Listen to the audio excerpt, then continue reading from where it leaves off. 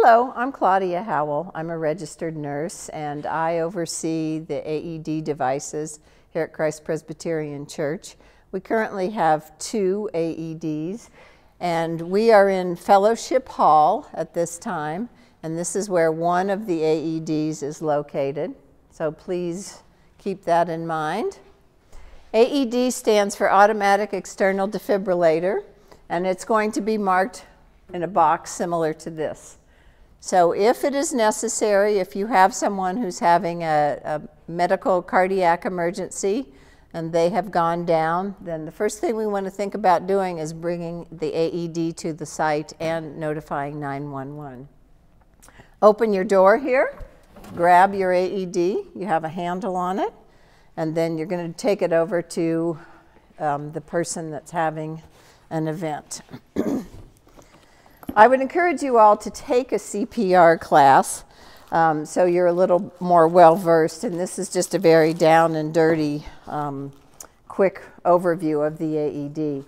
Remember, if the person has had a cardiac arrest, you're not going to do anything to harm them by using the AED. So AEDs have been shown to save lives out in the field if they're administered within the first minute or two minutes.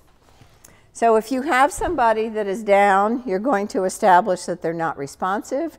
You want to check to make sure that they actually do not have a pulse and they may or may not be breathing at that point in time. Um, in the AED kit on the backhand side is a pair of scissors.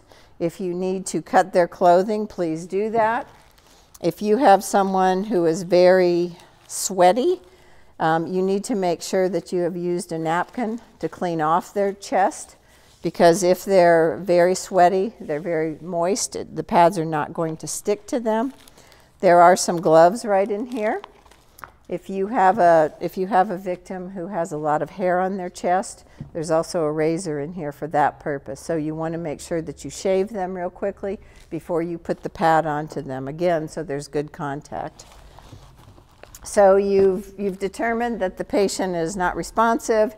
You don't feel that they have a heartbeat. They may, may, may or may not be breathing.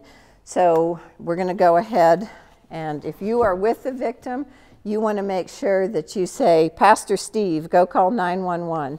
You've already got the AED and you've got it ready to go. You're going to go ahead and just open up your AED and it's going to start talking to you right away. Stay calm. Follow these voice instructions. Make sure 911 is called now.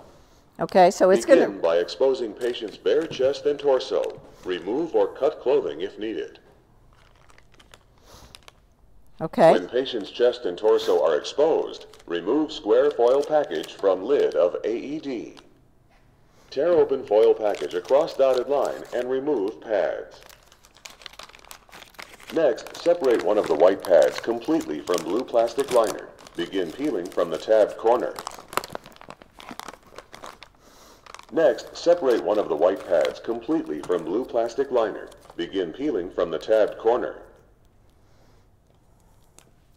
Next, separate one of the white pads completely from blue. Firmly place the pad without the liner on the patient exactly as illustrated. This pad can be placed on either of the two locations shown. Make Next, sure you have good contact. plastic liner off of the second white pad. Firmly place the second pad on the opposite location, exactly as illustrated. Firmly place the second pad on the opposite location, exactly as illustrated. Firmly place the second pad on the opposite location, exactly as illustrated. So at this point in time, I can't simulate the rest of it, but what the pads are going to be doing is it's going to be checking the patient's heart rate. The AED will not fire if it's not an appropriate time to do it. So it's going to, after you put it on, go ahead and allow it to evaluate the heart rhythm.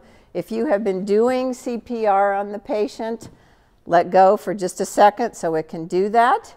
If it says that it's not going to shock, and if it's not an appropriate time to do it, then go ahead and continue your CPR.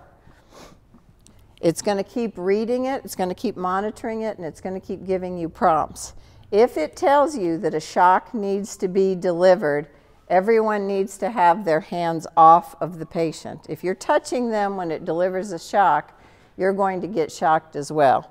So if it says that it is necessary and it's going to say shock delivered once it happens, make sure everybody is clear of the patient. It will reevaluate the rhythm at that point in time.